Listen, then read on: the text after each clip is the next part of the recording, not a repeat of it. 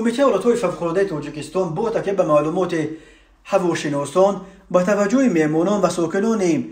جمهوری میرساند که از سی‌ام ایون تا دوم ایول سال 2023 در حدود ولایت ختلان و ناحیه های تابع جمهوری خاک بارش ادامه خواهد کرد. روزهای سیوم چهارم ایول سال روان در قلمرو ولایت ختلان و نواحی تابع جمهوری باد شدید در نظر داشته شده است. بنا به گفته امین منبع در این روزها در منطقه های یاد شده شمال با صورت 13 18 متر در یک ثانیه خواهد وزید. روزهای 29 ایون تا 5 ایول سال 2023 در یک قطار نویه های غربی ولایت مختار کوهستان بدخشان و بعضی نویه های توبه جمهوری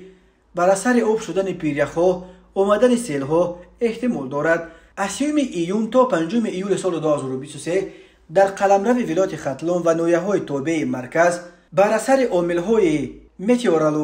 یا چنگ و خوک در نظر است در همین ارتباط کمیته ولایت‌های فوق‌العاده از اهالی خواهش می‌کند در چنین روزها بسیار احتیاطکار باشند. جو و کانال ها و سیل روها را تازه کنند تا اگر سیل هم آمد به مجرای خود رود به خانه و تاخانه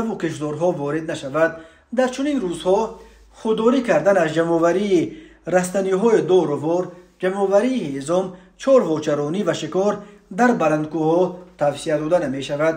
ронандагон ҳангоми ҳаракат дар роҳҳои кӯӣ қоидаҳои бехатариро риоя кунанд. Боло бурдани суръати ҳаракат ва риоя накардани масофаи миёни мошинҳо аз омилҳои ҳодисаҳои нохушанд